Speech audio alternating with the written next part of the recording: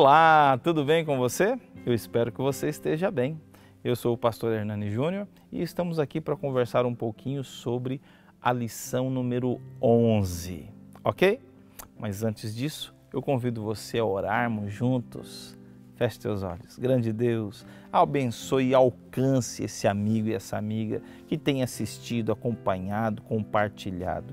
Senhor Deus, abençoa grandemente todos estes que de alguma forma tem, Senhor, alcançado graça e misericórdia diante de Ti. Grande Deus, nos dá força e fortalece a nossa mente e o nosso coração para entendermos melhor a Tua palavra em nome de Jesus. Amém. Muito bem, estamos na lição 11 e o título dessa lição, como é que é? Você pode, você pode repetir comigo aí? Compartilhando a história de Jesus. Olha que maravilha. E o verso para memorizar? Você já sabe? Você já conseguiu guardar?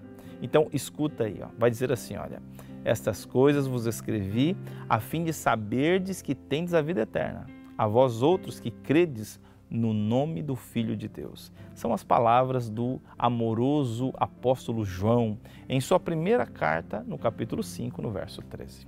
Nada comprova com, mais, com maior eloquência o poder do Evangelho do que uma vida transformada por Cristo. Nada. As pessoas podem até discutir a nossa teologia, discutir nossas doutrinas, podem até colocar em dúvida a nossa compreensão das Escrituras, mas raramente questionam o nosso testemunho e do, o testemunho que Jesus fez em nós e por nós e como ele tem transformado a nossa vida. Testemunhar é compartilhar o que sabemos sobre Jesus, é permitir que outros conheçam o que ele significa para nós e o que fez por nós e em nós. Sabe, amigo, a Bíblia nos apresenta que antes de conhecermos a Cristo estávamos mortos em nossos delitos e pecados, andando segundo o curso deste mundo, fazendo a vontade da carne, e éramos por natureza filhos da ira. Resumindo, vagávamos sem rumo pela vida, em uma condição perdida. Mas agora, mediante a suprema riqueza de Sua graça, a graça de Cristo, Sua rica misericórdia, recebemos o dom da salvação da vida. Agora que conhecemos a Cristo, não andamos mais em caminhos errôneos, mas sim andamos no caminho iluminado pelas Santas Escrituras, que Cristo ensinou. Andamos agora salvos por Cristo, somos como luz, não mais trevas. Agora somos o bom perfume de Cristo. Agora compartilhamos com as pessoas de Jesus Cristo, compartilhamos da forma com que ele se manifesta através de nós pelo Espírito Santo, em nossas boas obras, e não apenas em eloquentes palavras. Não defendemos mais doutrinas, mas vivemos as doutrinas que acreditamos. E em nossa vida, o maior testemunho da verdade é viver essas crenças. Um bom exemplo dessa transformação podemos encontrar no relato de Lucas, no capítulo 9, no verso 54. Do 54 em diante. Jesus e seus discípulos é, precisavam passar por Samaria em sua viagem, mas os samaritanos não queriam deixar que Jesus e os seus discípulos passassem pela cidade. Então, Tiago e João, filhos de Zebedeu, que eram conhecidos como filhos do trovão, perguntaram a Jesus: Senhor, queres que mandemos descer fogo do céu para consumir todos estes? Eu chamo a sua atenção, meu querido amigo e amiga, para quem eram esses homens. Estamos falando dos dois irmãos que o próprio Cristo, depois de uma noite de oração, convidou para ser seus discípulos. Homens com temperamento forte, que o próprio Cristo, com grande paciência, misericórdia e amor, transformou em homens segundo o seu coração ao ponto de João ser conhecido como apóstolo do amor. Sabe, meu querido, minha querida, é isso que Cristo quer fazer conosco. Ele nos chama como estamos, transforma a nossa imagem como a dele quando temos um relacionamento com ele. Ouça esse pensamento que creio ser importante. Preste atenção. Não somos transformados apenas pelo que sabemos de Cristo, mas somos sim quando praticamos o que sabemos sobre Cristo. Guardou aí? Quando nós praticamos os ensinos de Cristo, estamos compartilhando o que ele fez em nossa vida. E compartilhamos isso com as pessoas ao nosso redor. e principalmente com a nossa família, a qual o maior evangelho, a maior pregação não são nossas palavras, mas sim nossas atitudes. Outra história interessante que me chama muita atenção é a história dos endemoniados de Gadara. Alguns evangelhos dizem que eram um, que era um, outros que eram dois endemoniados. Mas o importante nesse momento é a história em si de como Jesus libertou esses dois homens podemos perceber que ao final da transformação, que foi milagrosa, estes homens pediram para ir com Cristo, para serem seus discípulos. Mas o assustador é que Jesus diz a eles assim: oh, não, vão para a casa de vocês, para os seus, e conte o que Deus fez por vocês. Percebemos aqui que Jesus ordena para esses homens que contem o que Deus fez na vida deles para todas as pessoas, principalmente para a família. Isso, meu amigo, é isso mesmo. Isso é a essência do testemunho.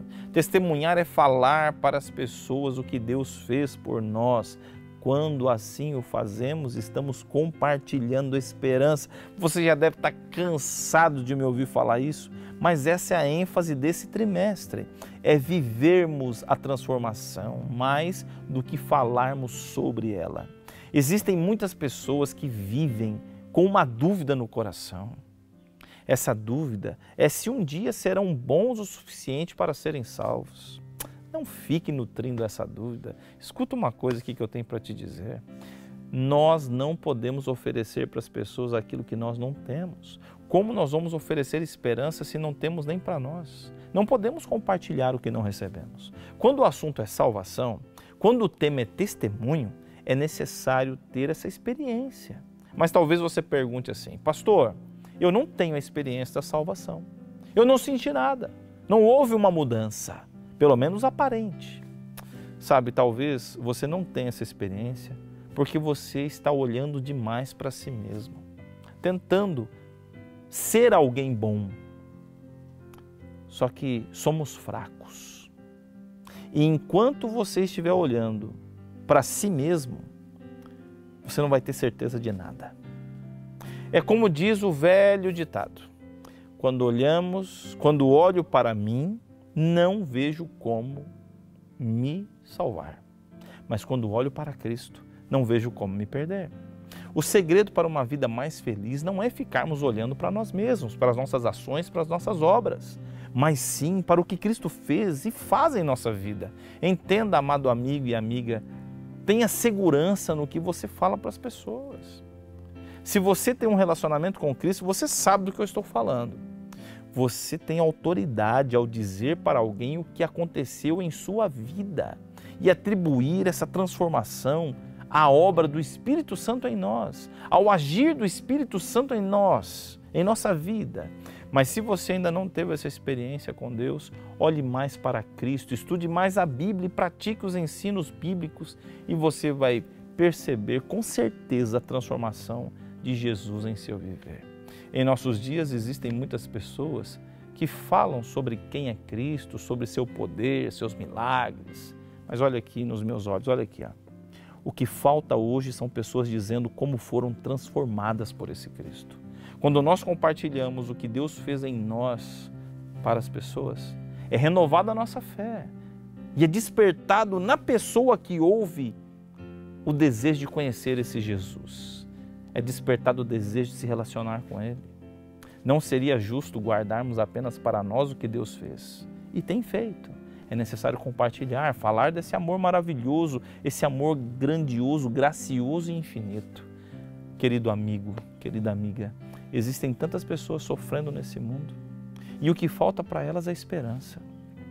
Esperança em um Deus que nos compreenda, um Deus que ouça, um Deus que dê atenção às necessidades, um Deus que, como o nosso, dá a vida pela salvação dos seus filhos. Não quer você ser esse agente de esperança, ser um anjo do céu e testemunhar desse Deus para os seus familiares, amigos e vizinhos? Tem esse desejo?